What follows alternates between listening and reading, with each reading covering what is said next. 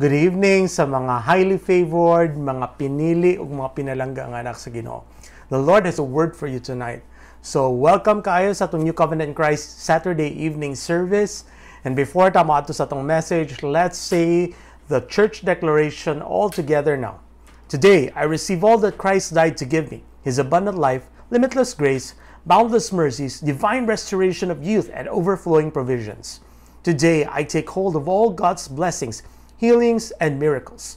I shall be transformed from glory to ever increasing glory and victory to overwhelming victory.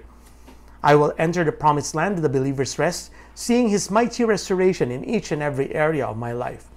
I proclaim that I am God's beloved, his highly favored child, his powerful servant, and his overcoming champion. And because I am blessed to overflowing, I will be a blessing to all. In Jesus' name, Amen. Nagatuo ba mo church ang inyong gideclare karon? Nag-declare ta ganiha nga na ay overflowing blessings sa atong kinabuhi. That we are blessed to overflowing. Asa man nagikan? That comes from Psalm 23 that says, My cup runs over, di ba? Kung sa New Living Translation nakabutang diya, My cup overflows with blessings. So, kung nagatuo mo na, yung gineclare na, ninyo, along with me, in faith, definitely, but ipa, God will definitely fulfill it in all of our lives. So, ready for the word? Ang atong message for tonight is dedicated to worshiping together. Now, karon sa mensahe nato karong gabi na gilid ko sa Ginoo para magbasa sa kinabuhi ni King Hezekiah. Magsugod ta sa 2 Chronicles chapter 28 sa New Living Translation. Ang amahan ni King Hezekiah kay si King Ahaz. And kung nakailam kay King Ahaz, si King Ahaz kay a very bad ruler sa Judah. Tungo naman ko ng Israel ug ang Judah nag-split man na sila kay dili nila dawaton ang leadership sa ni King Rehoboam nga usa sa mga mga descendants ni King David. So because of that, nagkaroon ng Northern Kingdom of Israel and naapoy Southern Kingdom which is the Judah. Na dito ang tribe of ang na dito ang nagdala sa tribe of Judah or ang Kingdom of Judah is the tribe of Judah and the tribe of Benjamin. So, uh, basahon nato from 2 Chronicles 28, Ahaz rules in Judah. As usual, kay kulang man atong time, and then taas kining story ni King Hezekiah. Ako na lang i-compress, ako na lang i-summarize para sa tanan nato mga viewers, and also mag-skip po tag mga verses and some portions dili na nato kay nang basahon. Okay? So verse 1, nakabutang diha, when Ahaz rules in Judah, si King Ahaz did not do what was pleasing in the sight of the Lord his ancestor, as his ancestor, ancestor David had done. Instead, he followed the example of the kings of Israel. He cast metal images for the worship of Baal. He's offered sacrifices in the valley of Ben Hinnom, even sacrificing his own sons in the fire. So verse 20, when King Tiglath-Pileser of Assyria arrived, he attacked Ahaz instead of helping him. Verse 24, he Si King Ahaz, he shut the doors of the Lord's temple. Pay, pay attention to this. He shut the doors of the Lord's temple so that no one could worship there. And he set up altars to pagan gods in every corner of Jerusalem. Now, ang papa ni King Hezekiah, si King Ahaz, was a very bad king. He stopped ang mga Levites from uh, serving in the temple, nawala ilang mga ministers. He closed, according to verse 24, he shut down the temple so that wala na maka-worship sa Ginoo. And that was a very one of the most horrible things that King Ahaz did. And then dilip lang kana, he was an idol worshipper. He followed pagan gods. And even nakabutang diri sa verse 2 nga, even dito sa Valley of Ben Hinnom, pati mga sarili niya mga anak nga lalaki, iyang gisacrifice sa mga idols. We have here a king that is very, very evil. A king that turned away from the Lord. A king that never followed God. And ang effect sa iyang kinabuhi, makita nimo all Judah suffered. Ang tibok Judah was defeated. Judah lived a very defeated life, the entire kingdom, because the king did not follow the Lord and he taught the people to do the same. And grabe kaayo ang hitabo. Ang si ano ang at the time nga he was the king of Judah, Israel and Judah fought. And ang mga Israel, they defeated Judah and took 100, uh, more than 100,000 nga mga slaves dito padulong sa Israel. May na lang, nga na usa ka prophet sa Ginoo pag abot dito sa Israel sa mga uh, slaves o katong mga plunder nga gikan sa Kingdom of Judah, ni istorya tong usa ka prophet ingon siya nga sala ni inyong ginabuhat. ato ni silang mga kapwa nga mga Hudeo. So dapat buyan nato ni sila. And dili lang kay buyan nato sila, i-release po nato atong plunder sa ilaha. And because of that, natauhan ang mga people of Israel and nag-release nila ang mga prisoners nila nga gikan sa Judah gibalik nila to mga plunder kato mga sanina. Gipangkuha nila pati kato mga mga other nga mga valuables. Gipangkuha nila dito. And gisaninaan nila to mga slaves or mga prisoners nga walay sanina tas gisend nila balik sa Judah may na lang nag-intervene ang Ginoo bisan pag evil ang king sa Judah at the time God still is a God of grace and still he still kanang had compassion on his people because God never loses compassion for his people. And at that time, because King Ahaz was such an evil king, the kingdom of Edom was attacking Judah and also took slaves and prisoners from Judah.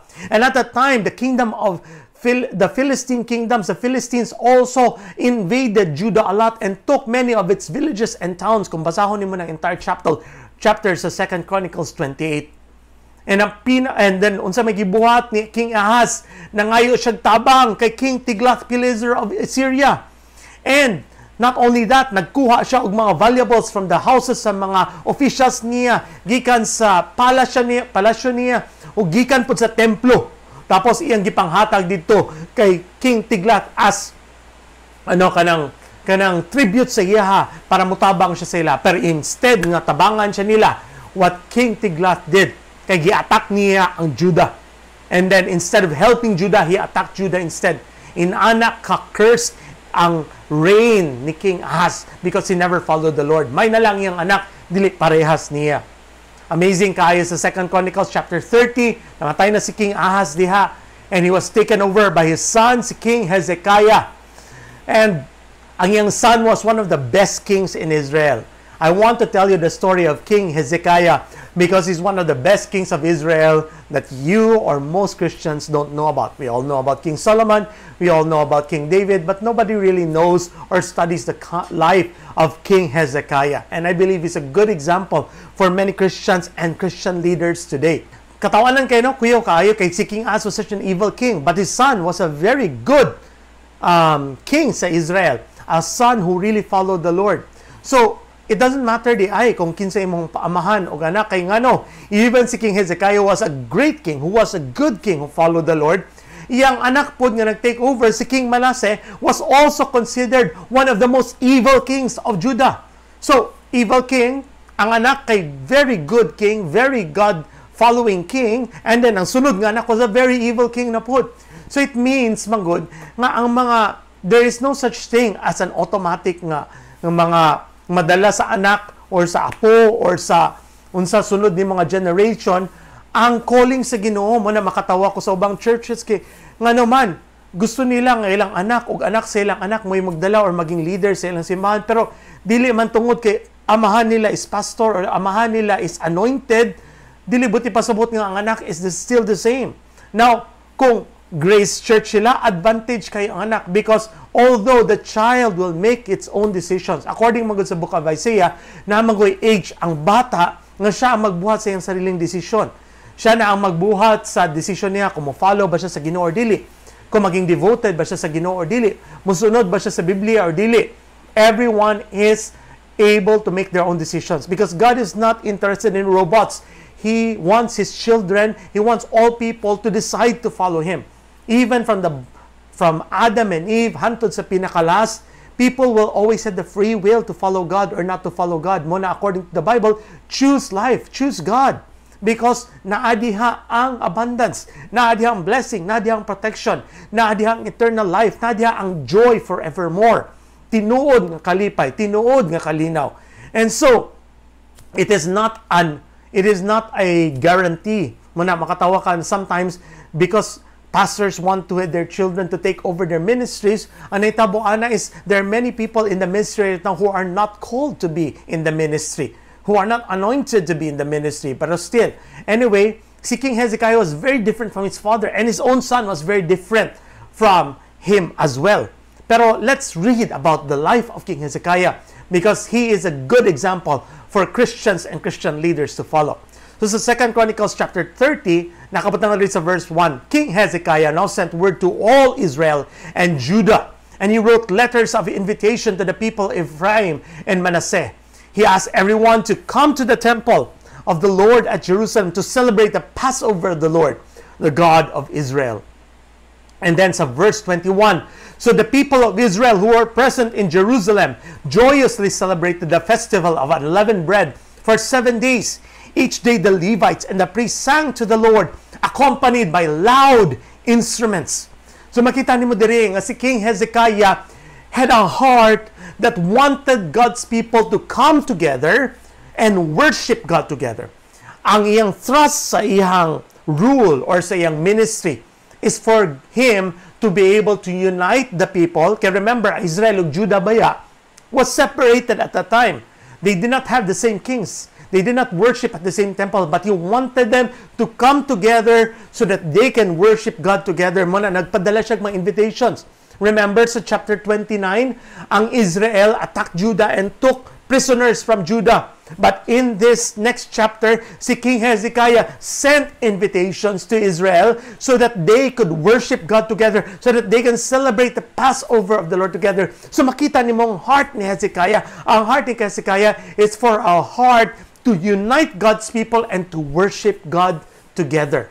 And what does it mean to celebrate the Passover at this day and time? Unsa man ang Passover, mo ng time that they, the Jews would celebrate their being freed from the captivity in Egypt sa panahon nila Moses. And ginakaon nila ang Passover lamb. That Passover lamb is a picture of Jesus. The eating of the Passover lamb is a precursor of our modern day communion. Remember that communion is very, very powerful and it's very, very important to celebrate. In fact, sa Acts chapter 20, verse 7, nakabutang diha, that on the first day of the week, which is the Sunday, when the Christians and the believers often came together to break bread, they came to hear Paul preach to them. So, makita nimo sa Acts 20 verse 7 mismo, you can read it in your own Bibles. I did not put it in my PowerPoint that the main reason that Christians would gather together to meet together, although they did also to listen to Paul preach, ang main purpose nila sa pag-gather together has always been the Holy Communion. Muna tanaw ni Acts 20 verse 7 nakabatan niya, at the day the disciples would gather together on the first day of the week for the purpose of breaking bread. Mo ang number one nga purpose whenever the early church would meet. Muna, there is a new covenant in Christ, dili gina mawala ng communion. Because in the early church, they broke bread every day. Every time magtigom sila, they broke bread. They celebrated communion. And they enjoyed the favor of God and all the people. And God added to their number daily those who were being saved. So amazing kaayo. And that's why we must never forget. Many churches have forgotten this. And communion is only celebrated once a month or less or twice even every quarter or something like that. But we will never forget that the early church always celebrated communion. And when Hezekiah wanted to gather the people to celebrate Passover, this is a picture of the new covenant when people would gather together to worship the Lord by celebrating communion. Why do we celebrate communion? Because communion is a picture of the finished work of Jesus on the cross. Because Jesus commanded us to keep doing communion until he comes again because we are proclaiming his death, his finished work, his victory on the cross until he comes again. So whenever we come together, the main thrust has always been communion. That's why communion will always be in every service of the New Covenant in Christ Church, even sa tong prayer meeting, receiving meetings sa Wednesdays. And then nakabutang there is a verse 21 that when the people of Israel were gathered together to celebrate the Lord, the festival of unleavened bread, which is uh, sa ano related po sa Passover. Then the days the Levites and the priests sang to the Lord accompanied by loud instruments. Ganahan ang Ginoo sa loud instruments. Buti pa sa buta ana dili gusto ang Ginoo nga murag hilom ra ta, always dignified, singing songs nga ya, kay dili okay man na. The Lord appreciates that. But the Lord also loves His people to celebrate with loud instruments. And muna nakabutang dari sa verse 21. Even sa parable of the prodigal son, pagkadungog sa uh, son katong son bitaw nga wala nang rebelde na ay loud music and dancing dito sa father's house. Mo nang gusto sa Ginoo. In his house there will always be loud music and dancing. People want God to worship the Lord with joy in our hearts. And ang joy makita sa atong pagsayaw sa pagsinggit pag sa pag-raise sa atong voices mag-worship sa iya pati sa pagtugtog sa mga musicians nga mga instrumentalist ug kanang kanang maayo nga pagkatugtog ug mga kusog nga pagtugtog. Mao din ang gusto sa Ginoo gikan sa toa. And you will see the blessing that follows the people of Israel under the reign of King Hezekiah dire Padayon ta sa 2 Chronicles chapter 30. Sa verse 22, ingon diri, Hezekiah encouraged all the Levites regarding the skill they displayed as they served the Lord. The celebration continued for seven days. Peace offerings were sacrificed, and the people gave thanks to the Lord, the God of their ancestors. Verse 27, nakabatang diri, Then the priests and the Levites stood and blessed the people, and God heard their prayer from His holy dwelling in heaven nindot kayo ang nahitabo. Under the reign of King Hezekiah, he called the people to gather together to celebrate Passover and the Feast of Unleavened Bread. And ang nahitabo is, he encouraged the Levites to play with skill. Gusto niya magtugtog ta sa atong pinaka-best. Gusto niya mag-practice sa atong mga musicians. Gusto niya ang atong mga worship leaders will give, sing their best unto the Lord. And nakabot the people give thanks to the Lord. How did they give thanks? To their praise and worship and through other things as we will see later. And then sa verse 27, nakabot ng when the, when the priests of God, the Levites, blessed the people, God heard their prayer from this holy dwelling in heaven. And then nindut kai that means that the prayers of his people were heard. That means they were answered by the Lord. They were they were all yes and amen unto the Lord because the Lord heard them, because they were giving thanks unto God. They were worshiping Him with loud instruments, and they wwere playing with skill. Mo na nakabutang dali sa verse sa 2 Chronicles chapter 30. Tapos nice kayo that we know that Hezekiah is a leader under grace. How do we know that Hezekiah is a leader under grace? Because here, sa 2 Chronicles chapter 30, verse 18 to 20, basahon ako sa inyo ha, na nakabutang dali. Most of those who came from Ephraim, Manasseh, Issachar, and Zebulun had not purified themselves. But King Hezekiah prayed for them, and they were allowed to eat the Passover meal anyway, even though this was contrary to the requirements of the law. For Hezekiah said, May the Lord who is good Pardon those who decide to follow the Lord, the God of their ancestors, even though they are not properly cleansed for the ceremony. Verse 20, And the Lord listened to Hezekiah's prayer and healed the people. Nindot kaya, amazing kayo. Kabalutan nga, Hezekiah is a king under grace. Dili siya legalistic, kay nga naman. First of all, they celebrated Passover one month late. Normally, si Hebrew calendar Passover is celebrated on the first month, but they did it on the second month. Kung basahon nato ng entire chapter. And ang amazing ni Ani is there is a requirement under a law nga katong mga Hodeo must be cleansed, must undergo purification nga rituals sa mga ha, sa mga pari o sa mga Levites. Requirement na siya under the law. But Hezekiah knows that God is not a God who is legalistic. In fact, ningon siya, may the Lord who is good pardon those who decide to go through this without being properly cleansed or purified nga, nga moaging ng ceremony. That means he knows that God is a God of grace. He knows that God is not a legalistic God nga gina-require good under the law. Kailangan sundon yun mo to the dot, to the letter. Dili. Kabalo siya that God just wants to be worshipped. God just wants his people to be gathered together to praise Him, to honor Him, to glorify Him. And then, even though kontra sa balaod ilang gibuhat. Mura si Jesus sometimes he would break the Sabbath he would break the law just so that he can benefit and bless God's people. That's what Manasseh uh, that's what King Hezekiah did. And then he prayed to the Lord Lord pasensyahin na sila. Nga wala sila nakasunod sa balaod. But you know what Lord? I pray over them Lord. I-bless gihapon sila Lord. Why? Because nakabutang dari sa verse sa verse um, 18 because the Lord is good may the Lord who is good pardon those who are not properly cleansed so he knows that God is good and this is a revelation under the new covenant of the Lord So makita nimo the Lord listened and gwapo kayo in verse 20 the Lord listened to Hezekiah's prayer and he healed the people That means kung kinsa may nang mga naisakit sa mga tao, nangaayos sila. Kung ay blind, the blind was able to see. Kung ay lame, the lame was able to, to walk. Ay deaf, the deaf was able to hear because God is a God who's good. God is a God of grace and Hezekiah knew that. And that is one of the secrets why he was such a good king.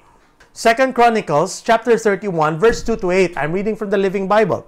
Sa verse 2, nakabutang din, Now Hezekiah organized the priests and Levites into service corps to offer burnt offerings and peace offerings and to worship and give thanks and praise unto the Lord. Why? Giving thanks and praise unto the Lord is very important.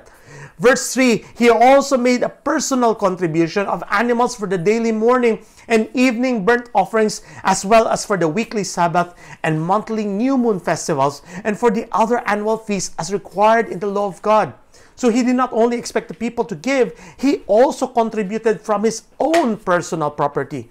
So, verse 4 in addition, he required the people in Jerusalem to bring their tithes to the priests and Levites so that they wouldn't need other employment, but could apply themselves fully to their duties as required in the law of God. Remember, we took this up last Sunday. Ingon ko nga, the Lord has appointed, it's time for the Lord to appoint leaders in the church. Why? So that the pastors and the priests, sa pastors or the ministers can concentrate on what we are called to do, which is the prayer and the Word of God. And importante kayo ni mong trabaho and this is not something that we can take lightly. And so that si King Hezekiah also knows this. He also knows that the ministers, the Levites, need to concentrate on serving and worshiping the Lord and to prayer and to their duties as priests and Levites. Muna ingon siya sa mga people, bring your tithes into God's storehouse. But he didn't just tell the people to bring, he also brought himself. As a leader, we also believe that we have to tithe. There are churches there who feels that the pastors are somehow exempt from tithing, but that is false, that is wrong. Kaya nga no, even the pastors themselves needs that needs to follow the will of the Lord. And whenever we give unto the Lord, we are telling the Lord, whenever we, we give unto the Lord, we are telling the Lord, Lord, we know you are our source. We know, Lord God, nga ikaw ang mong provider. Gusto ka na may honor with our tithes and our offerings, Lord Jesus. Mo na ginadala namon isa imuha. And then, so pag giingnan niya mga people, bring your tithes into the storehouse so that the priests and the Levites can concentrate on their ministries. Unsay nahitabo? So, sa verse 5 to 6 nakabutang diri, the people responded immediately and generously with the first of their crops and grain, new wine, olive oil, honey, and everything else, a tithe of all they owned, as required by the law to be given to the Lord their God. But they didn't do this out of the law. They did it generously because they were happy to give unto the Lord. Nakabutang diri. Everything was laid out in great piles. Nagbugdog It was a huge mountain that the people were giving unto God. The people who had moved to Judah from the northern tribes and the people of Judah living in the provinces also brought in the tithes of their cattle and sheep and brought a tithe of the dedicated things to give to the Lord and piled them up in great heaps. Daghan kay sila gipanghatag sa Ginoo because the blessing remember in the previous verses remember the priests and the Levites blessed God's people and they were blessed And God heard their prayers. God answered their prayers. And in the previous verses, nakabutang dito sa previous chapters, that's verse 30, that Hezekiah prayed over the people. And then what did God do? God healed the people. And when God blesses His people, what is the response? The response is joy. The response is generosity. The response is they want to be a part of God's work. They want to be a part of God's ministry. So they brought all of these tithes and offerings unto the Levites because they wanted to be to take part in that ministry and they wanted to contribute to that ministry. It rises, it raises generosity in God, in His people, and even in King Hezekiah. But then tells of verse 7 to 8, the first of these tithes arrived in June, and the piles continued to grow until October, when Hezekiah and his officials came and saw these huge piles, how they blessed the Lord and praised his people. Verse 9, where did all this come from? Hezekiah asked the priests and the Levites. Verse 10, and Azariah, the high priest from the clan of Zadok, replied, These are tithes. We have been eating from the stores of food for many weeks, but all this is left over for the Lord has blessed His people. Pagkanindot. The Lord has blessed His people. Kung kabalo lang ang tanan, unsaon ta ma-bless na agi blessing diha everything that you do for the Lord even when you contribute to the ministry and ever you give unto the Lord na ay blessing diha ana ang style sa Ginoo.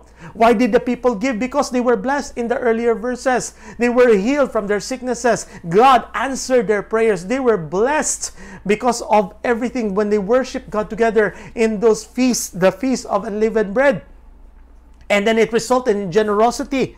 And then that generosity resulted in more blessing. It is a never ending cycle of blessing. And God knows that. And it is a secret that God's people should know.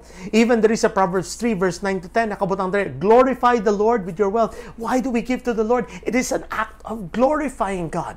We glorify God in our body. We glorify God in our wealth. We glorify God in our ministry. We glorify God when we praise and honor Him. But we can also glorify Him with our wealth. Honor Him with your first fruits, with every increase that comes to you. Verse 10 Then every dimension of your life will overflow with blessings with an uncontainable source of inner joy from an uncontainable source of inner joy So makita ni mo diha, every dimension of your life will overflow with blessings. Tanan area sa imong kinabuhi, physical, ang imong spiritual, ang imong emotional, ang imong health, ang imong financial, every area will overflow with blessings. Kanunay nato na gina-declare that we are blessed to overflowing. We are receiving the overflowing provision of the Lord.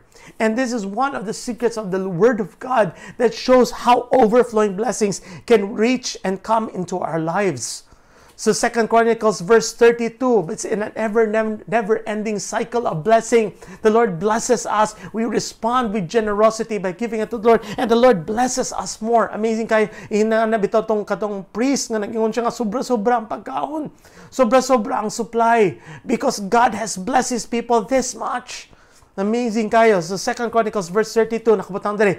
Sometime later sa verse 1, sometime later after this good work of King Hezekiah, King Sennacherib of Assyria invaded Judah and laid siege to the fortified cities, planning to place them under tribute. So gusto sila i-enslave ni King Sennacherib of Assyria.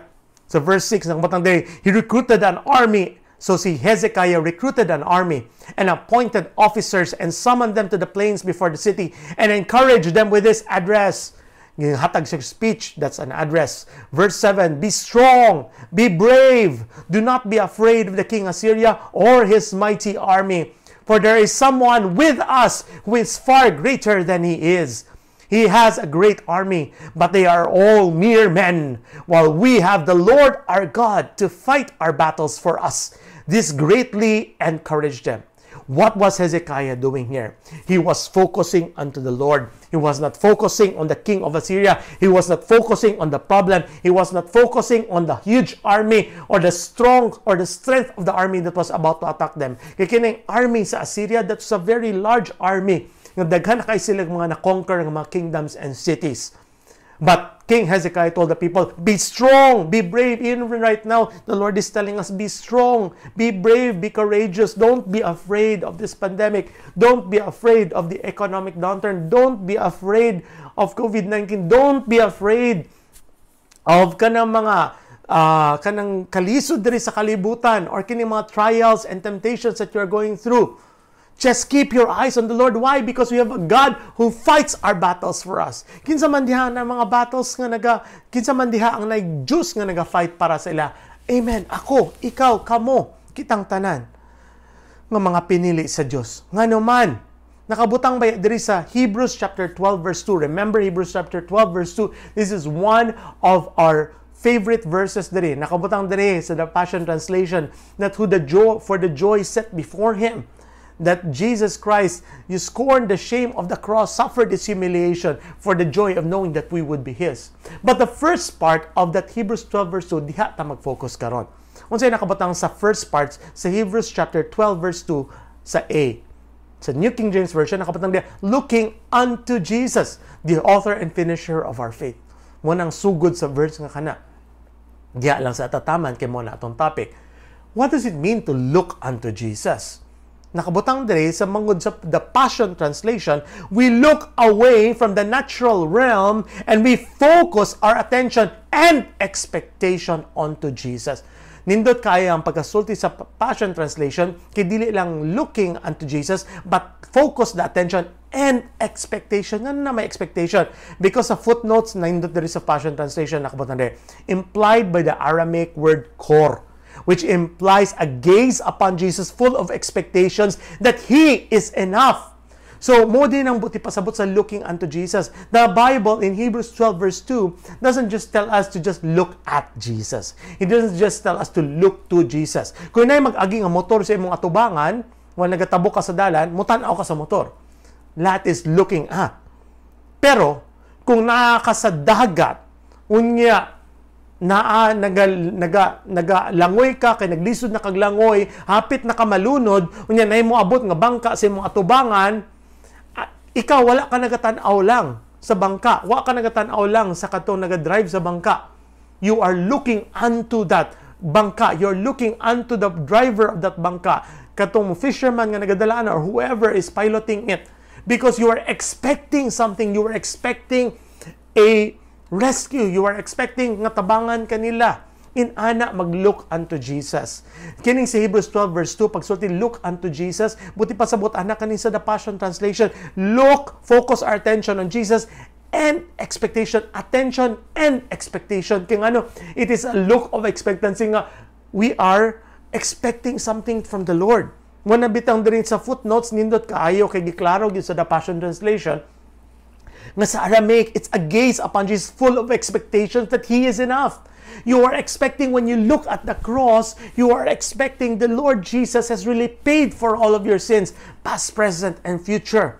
When you are looking to Jesus, you're not looking and focusing on your problems. You are expecting Jesus to help you out of your problem. You are expecting Jesus to bless you even in this economic downturn.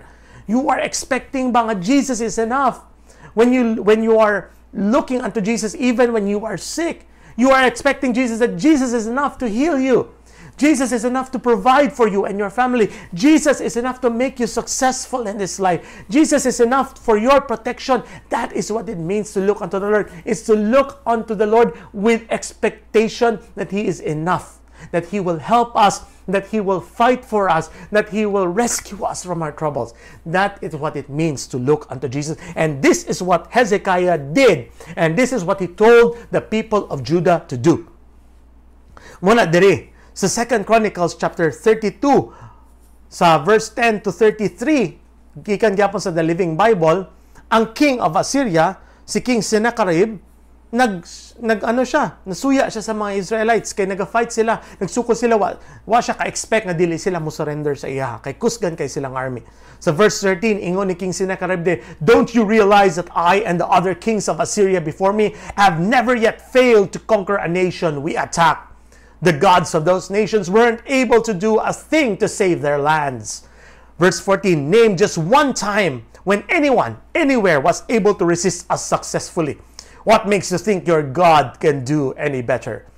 And then, ang gibuhat pag sa hari is, nagkampanya pag siya, gipadala niya mga messengers, mga letters kay King Hezekiah, pati sa mga tao sa Israel, nga dili ko ninyo kaya pildihon, mag-surrender mo. Kaya nga no, gusto niya nga mga hadlok sila. Sa verse 18, ang katong mga messengers nga nagdala sa iyang mga letters, sa kaputan the messengers who brought the letters shouted threats in the Jewish language to the people gathered in the walls of the city, trying to frighten and dishearten them. Si King Sennacherib is a picture of Satan. He is trying to frighten us and to dishearten us. And si King Hezekiah po is a picture of a person, a leader who is telling us to focus onto Jesus. Karon the enemy is telling you to focus on social media, to focus on the pandemic, to focus on kalisod, to focus on lack. But Jesus is telling us we should focus on Him and expect that He is more than enough. He is more than enough as a provider. He is more than enough as a healer. He is more than enough as a protector. In ana, ang gusto ni Lord sa ato. But the enemy wants us to focus on these fears, on the difficulties before us. Don't focus on that. And that's what the enemy wants you to do. Grabe kayo ang enemy dire kay ingon siya nga, tanawak wala man ko'y pildi. Every city that I have won to, I have been able to defeat. Wala man gani ko napili sa mga Diyos at mga ubang kingdoms, nganong makipili pa man ko sa inyong Diyos. You think you're any special? And then, ningon po siya diri nga, nagpadala po siya mga messenger, nga kabalo pag yun, gi-translate pag yun into Judeo, ang iyang mga threats o iyang mga mga kanang mga mga threats o kanang mga kanang pangambog dito sa ila para ang purpose is para ma-dishearten sila, para ma-frighten sila kay na may mga Hudeo nga nag-gather dito sa taas sa mga walls. Ipangsinggit nila ang mga threats in Jewish language, kay in Hebrew kaya para lang makasabot sila nga, wala mo kaya. Mapildi lagi mo maayo pag mo surrender na lang mo. Pero dilin ana. When you focus on Jesus, when you know that your God is fighting for you, na victory sim. Unsay gibuhat ni King Hezekiah ug ni Isaiah nindot kayo. I love these verses. It's probably my favorite verses is sa sa ano sa sa kining uh, story about King Hezekiah. So verse 20, nakabutang dari. Then King Hezekiah and Isaiah the prophet, son of Amos, cried out in prayer to God in heaven. And the Lord sent an angel who destroyed the Assyrian army with all of its officers and generals. So Sennacherib returned home in deep shame to his own land. Napakaulawan kay siya. And he arrived at the temple of his God. Some of his own sons killed him there. Grabe, pati ang mga anak ng patay sa iya. Verse 22, This is how the Lord saved Hezekiah and the people of Jerusalem. And now there was peace at last throughout his realm. Unsa nang peace diha throughout the realm of Hezekiah, throughout the realm of Judah. It is the shalom of the Lord. So original Hebrew, it's shalom. It includes welfare, it includes protection, it includes blessing. Grabe kayo na. That's a beautiful, beautiful world, word. And this is the year, NCIC, of perfect shalom and protection from the Lord. Dapat ma-enjoy nato na karong week, um, karong year di ay. And even this week especially, because amazing kayang ginabuhat ni Lord sa ato. Ah.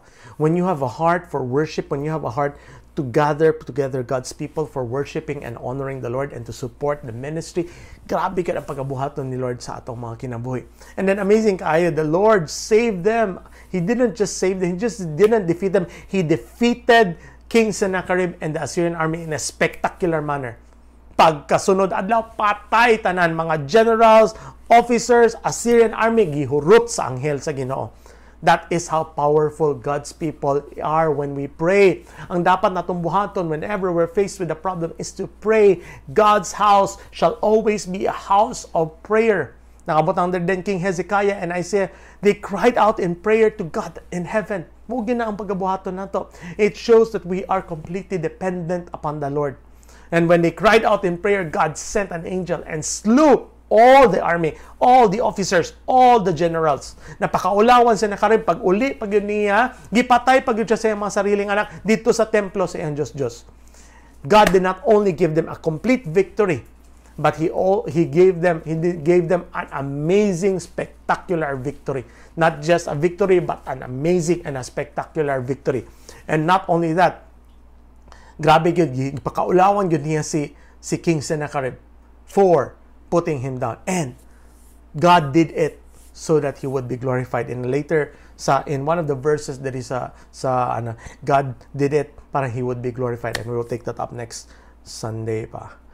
So, sa verse 23 nakabutang diri, from then on, King Hezekiah became immensely respected among the surrounding nations, and many gifts of the Lord arrived at Jerusalem with valuable presents for King Hezekiah too. Ang katong gifts for the Lord, amazing kayo. When you have a heart to gather God's people and to worship God and glorify God together with your praise and worship, with your honoring Him, with your giving unto Him, grabe kayong pagabuhaton, Lord, that not only did God's people kanang prosper, but even ang church niya prospered, ang temple niya prospered because offerings were sent. And not only that, the people of God, the leaders of the Lord, were also prosperous because people did also kanang send gifts to Hezekiah. So verse 27, so Hezekiah became very wealthy and was highly honored.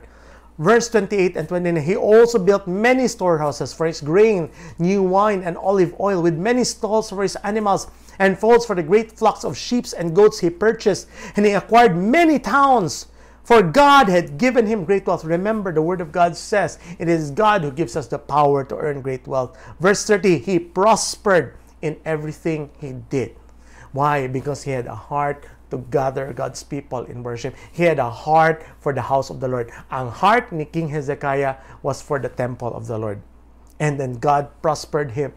Parehas ra po na katong heart ni ano ni katong American bitaw si Rockefeller, si uh, what's his first name basta si Rockefeller katong gi-preach na nako before katong oilman pinaka first nga oilman he was considered the greatest or the wealthiest American of all time. He also had a heart for the Lord. He also had supported the ministry. He also believed in going to church. And amazing kaayo ang gibuhat ni Lord nga blessing sa iya. He prospered also so greatly why do you think that Hezekiah prospered in all he did why do you think Hezekiah was blessed with so much riches from the Lord I believe the answer is in 2 Chronicles chapter 31 verse 20 and 21. Nakabot ang dere, in this way King Hezekiah handled the distribution throughout all Judah, doing what was pleasing and good in the sight of the Lord and his people. He did what was good and he did what was pleasing to God. He wanted to please the Lord with his life. And that is what the Lord wants from every believer. Verse 21 In all that he did, in the service of the temple of God. Mo na siyang sekreto. Nga nung Hezekiah was such a great king. He did everything in the service of the temple of the Lord. Unsa ang temple sa Ginoo karon kita? Kita ang mga believers. We are now the, together, the temple of God. Wherever we gather, wherever we worship Him together, we are the temple of God together. And when because Hezekiah had a heart for God's temple, a heart for God's house of worship, that is why he was so blessed and so prosperous and so wealthy. And in his efforts to follow God's laws and commands, Hezekiah sought his God wholeheartedly. As a result, he was very successful. Why? Remember Matthew 6:33, seek ye first the kingdom of God and his righteousness, and all these things shall be added unto. He sought God with his heart wholeheartedly, with all of his heart. Gusto niya ma-please Ginoo. With all of his heart, he wanted to be, he wanted to bless God and honor God and glorify God. And as a result, he became very successful. Why do you think Hezekiah was able to do all of that? Why? Because it was the Lord who actually strengthened him to do so. Why? The meaning of the name of Hezekiah in the original Hebrew means Yahweh strengthens or the Lord has strengthened him. So, the Lord has strengthened mo na siya ang meaning sa original name sa Hebrew sa pangalan ng Hezekiah. Yahweh strengthens or the Lord has strengthened. The reason that, that Hezekiah was able to live a life that was pleasing unto the Lord, the reason he was able to lead the people of God correctly, the reason he was such a good king, such a prosperous king, such a wealthy king, is because the Lord has strengthened him. Kinsa pa diha ang mga gina-strengthen sa Ginoo? Amen? Kamo, ako, kamo nagapaminaw, Remember, ingon po si Paul, I can do all things through Christ who strengthens me. And in the context, kung tanawon na tong context, it's in the context of serving the Lord. It's in the context of serving God's people. It's in the context of his ministry of finding believers, of building the churches unto the Lord. He was the apostle for the Gentiles. He was called by the Lord for that ministry. Mona, nindot kaayo because when Paul, when we do things for the Lord, it's not the I us who is doing it. It's actually God who is doing it through us. Like we took up before last last Sunday when when David was killing the lion and the bear. Ingon siya nga it was God who was actually doing it through him. When when si Samson killed the Philistines, he claimed that it was through God who was using him. When Peter and John healed the lame person dito sa gate of the temple. Ingon sila, we did not do this by our own power. It was the Lord God who did it. So it's not actually us, day. Hezekiah was a good king. He did the right things. What was Hezekiah's part then? His part was to say yes to the plan of God. Just like you and me. We say yes. We want to be used by the Lord. Yes, Lord. We want to be used by you in the church Yes, Lord, we want to glorify you in the church. Lord, yes, Lord. All our things that the only thing that is our part sa sa kini is to say yes unto God. And you will find that even when you do the right things, whenever you do things that are pleasing unto the Lord, it's not you doing it, it's God who is doing it through you. When I say 1 Corinthians chapter 15, verse 10, whatever I am now, it is all because God poured out His special favor on me. and not without results. For I worked harder than any of the other apostles. Yet it was not I, but God who was working through me by His grace. It is God working through us by His grace. Ng ni Paul, whatever I am now is because God poured out His special favor on me. I realize I am a lawyer now, not because of my own talents, abilities, or efforts, but because God poured out His special favor on me. We have our families right now because God poured out His special favors on me. We have ministries right now because God poured out His special favor on us. You have good health right now because God poured out His special favor on you. You have finances to provide for your family because God poured out His special favor on you. It's all because of the grace of God. Everything comes by the grace of God under the new covenant. And still, Paul still worked harder. Say it with me, worked harder. Grabe gihapon. Trabaho gihapon. Still work. God is not advocating laziness still, work hapon. Pero still, even when he's working, even when he's doing the ministry, even when he's supporting his own ministry by tent making, he said, it's not me doing it. It's actually God working through me by his grace. Because everything comes by the grace of God. Even our good deeds that we do for the Lord, it comes by the grace of God. And I like so much kining gisulti din ni Paul sa 1 Corinthians chapter 1 verse 4 to 9. Paul gives thanks to God. I always thank my God for you, for the gracious gifts He has given you. Now that you belong to Christ Jesus. Verse 5 Through Him, God has enriched your church in every way. And every way means every way, including financially, including spiritually, with all of your eloquent words and all of your knowledge. This confirms that what I told you about Christ is true. First of all, nindot kay ready sa verse 4 kay ingon si Paul nga nagapasalamat siya sa Ginoo because now that we belong to Jesus, ever since we received Jesus as Lord and Savior over our lives, God has poured out His special favor on us. And He has given us many gracious gifts kini tanan atong mga gina-enjoy karon gikan sa Ginoo atong health, atong finances, atong mga ministries, atong simbahan, atong friends, atong loved ones, atong families, kini tanan gracious gift ni sa Ginoo sa to, mga libre niya, mga gifts niya sa to that he gave us graciously because we belong to him. He gives it because as Hezekiah said, God is good. God is loving. God is kind. And, nakabutang God has enriched your church in every way. Every way means every way. Spiritually, physically, financially, God has enriched our church in every way. Mo na siyang will sa Ginoo para siyang people. And God knows how to do it, and we just follow that pattern that the Lord has given us in the book of 1 Chronicles 28 to 33.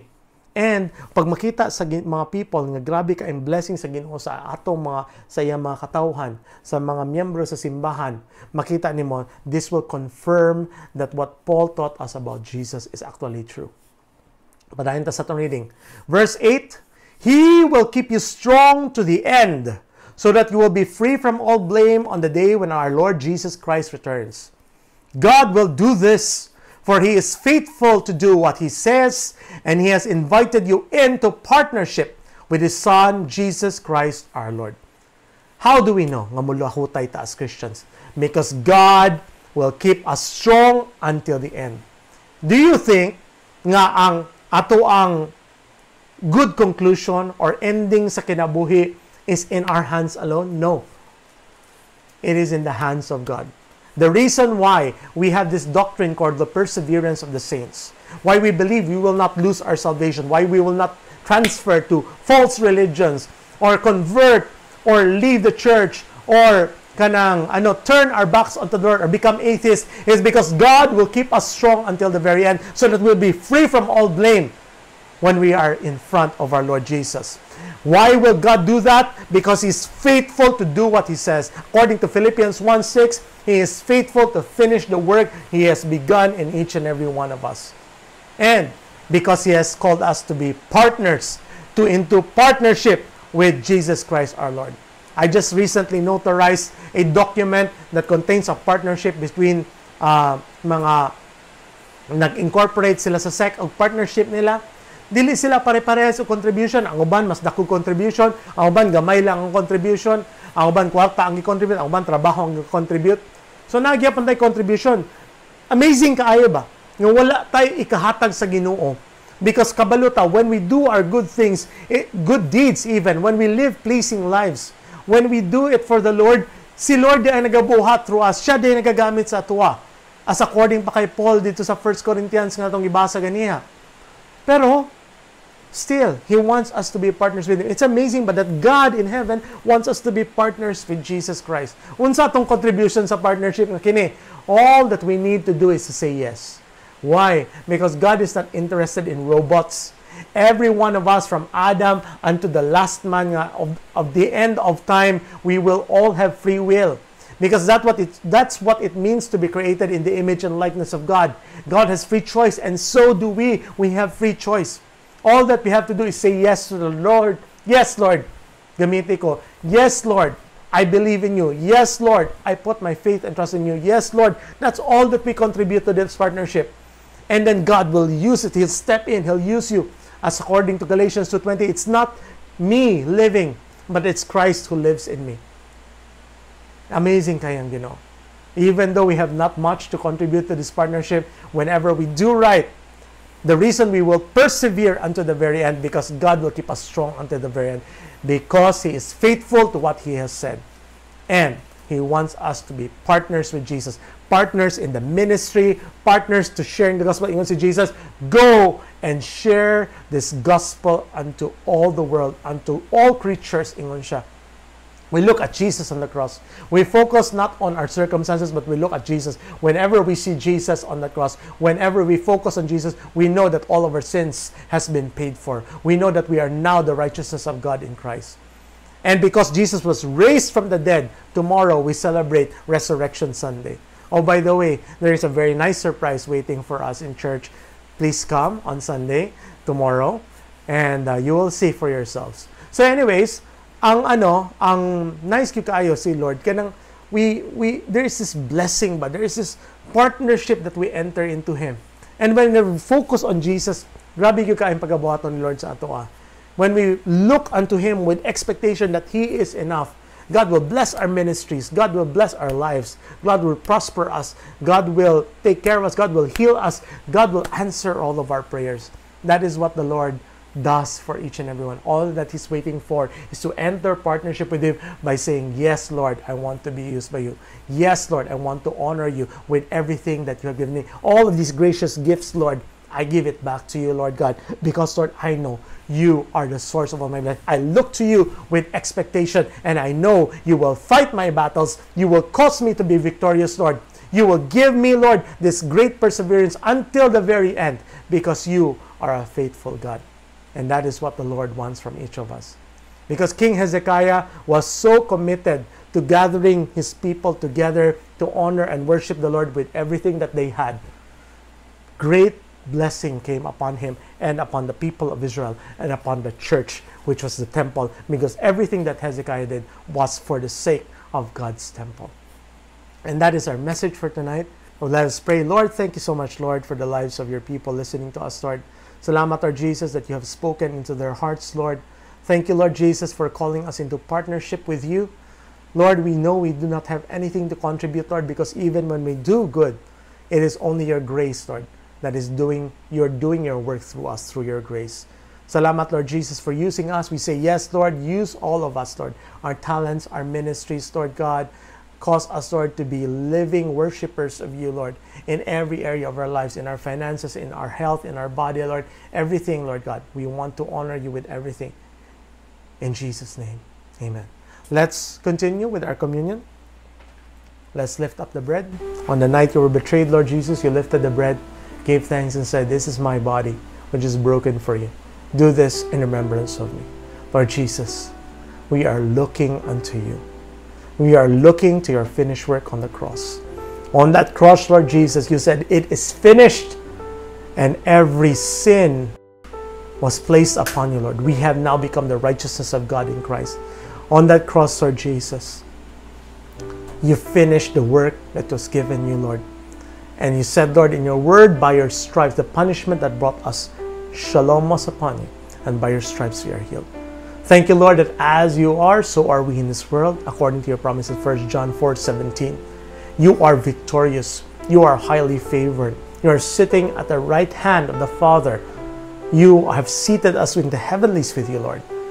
And there's no sickness, no disease that can touch you, Lord. Not COVID 19, not hypertension, not diabetes. No sickness, no disease can touch you in any way, form, or manner. We thank you, Lord, that as you are, so are we in this world. As we partake of your body, Lord, every part of our body and every area of our life is healed, restored, and renewed.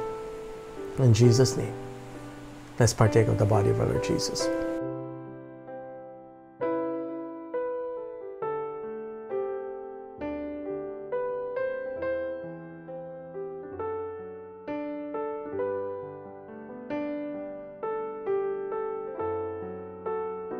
Let us lift up the cup. On the night you were betrayed, Lord, you lifted the cup, gave thanks, and said, This is my blood. You said, Lord Jesus. It is shed for all for the forgiveness of sins according to Matthew 26, Lord God.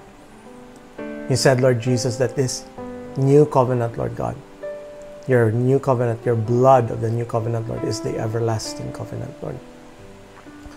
Thank you, Lord Jesus, for what you have done for us on the cross. Tomorrow, Lord, we, resurrect, we celebrate Resurrection Sunday, Lord. Because, Lord Jesus, you said in your word, Lord, in Colossians, oh God, that because you are resurrected, we are no longer in our sins, oh God. Salamat, Lord Jesus. Your resurrection proves that we have been paid for of all of uh, the sins of our lifetime, Lord God. And we now stand before you as the righteousness of God in Christ.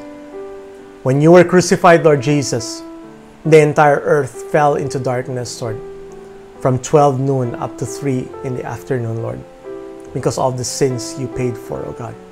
Something happened, Lord. Even the earth shook, Lord, with a great earthquake, Lord, because what you did, Lord, has never happened before. It was such an incredible feat. It was such an incredible thing. That's why, Lord, whenever we drink your blood and eat your body, Lord, we proclaim your death until we come again. Because, Lord Jesus, what you did was so powerful, so great, so amazing, Lord. With that work, Lord Jesus, you have cleansed us from every sin, made all of your promises yes and amen unto us, Lord Jesus, and made us victorious, Lord, and filled us with your grace and placed us in you, in Christ, the place of victory of every new covenant Christian. Thank you, Lord. We continue to proclaim this amazing gospel, good news, Lord, to all who will hear. Thank you, Lord, for your blood. In Jesus' name, let's drink the blood of our Lord Jesus. Praise the Lord. Hallelujah. Lord, I pray, O God, for the people who are listening tonight, Lord. Thank you, Lord, for blessing all of your people, O God. We pray, O God, for uh, blessing, Lord. Salamat, Lord God. You will bless and prosper, Lord. Every member of the New Covenant in Christ Church, O God especially when we are used by you, Lord. I pray, Lord, for blessing, Lord, over Pastor Arman, Sister Gina, and their entire family, Lord. Salamat, Lord, you will bless them in every area of their lives, Lord. Salamat, Lord Jesus, you will uh, protect them, Lord. Bless them physically, emotionally, spiritually, God, financially, Lord, in every area of their, their, their lives, oh God. Salamat, Lord, for pouring out, Lord God, your great favor and protection upon your people in the New Covenant in Christ Church. Thank you, Lord, every person, Lord, who's hearing me right now will be used mightily and greatly by you, Lord. Salamat, Lord Jesus, that when we have a heart to gather to worship and glorify you with every gracious gift that you have poured out in our lives, Lord, great blessing, Lord, flows into our lives as well. We want to be used by you, Lord God. We don't want to go through life, Lord, just enjoying ourselves, Lord, and living for ourselves. We want to live for you. We want to do everything for your church, for your body, Lord, for your temple, oh God. Thank you, Lord, for blessing us like you blessed the people of Judah and you blessed King Hezekiah, Lord God. We want to have a heart just like him, Lord, for you we believe, Lord, you gave him as a good example for all believers and all Christian leaders and pastors alike, Lord. Salamat, Lord Jesus, that the right to worship and gather together will never be curtailed, curtailed, oh God, in the Philippines, Lord. We pray for our leaders, President Duterte, Lord, the IATF, Lord, Mayor Inday Sara, Lord. May they never issue rules, O God, that will stop us or stop our right to gather together, worship and honor your name. For we know, Lord, there is great power, there is great kanang blessing, O God. There is a great breakthrough, Lord, whenever we come together to worship you. Salamat, Lord Jesus, for blessing all of your people. We pray for Israel, O God. We pray for their salvation and their protection from all of their enemies, O God. We bind this disease of COVID 19 over the Philippines, especially over Davao region. You have no right to infect anyone anymore, Satan, in Jesus Christ's mighty name. We release your healing, Lord, unto the Philippines and especially Davao region, Lord. We thank you, Lord. These places will be COVID free, O God, very, very soon in the mighty name of Jesus Christ. Thank you so much, Lord. I bless you, our people, O God. I bless, O God. Salamat, Lord Jesus. I bless all of your chosen people, Lord. Now the Lord bless you. The Lord keep you from all harm. The Lord keep you in His grace. The Lord make His face to shine upon you and pour out His grace and His gracious gifts unto you. The Lord lift the light of His countenance upon you and give you His perfect shalom, both now and forever. Now unto Him, unto our Lord Jesus, and unto God our Father, who is able to keep us from falling and stumbling, be all blessing, honor, majesty, praise, and thanksgiving forever and ever. In Jesus' name. And the people of God say, Amen. Thank you for joining us tonight. Join us tomorrow in church. There's a nice surprise there. Thank you and God bless you in every way possible. Don't forget to join us in our church service tomorrow at 9:30 in the morning. Join us also in our receiving meeting on Wednesday nights at 6:30 and on our Saturday evening service at 6 in the evening. Thank you. You are so blessed and you are so loved and, and honored by the Lord because God is a good God and He loves all of His people. Good night. Goodbye.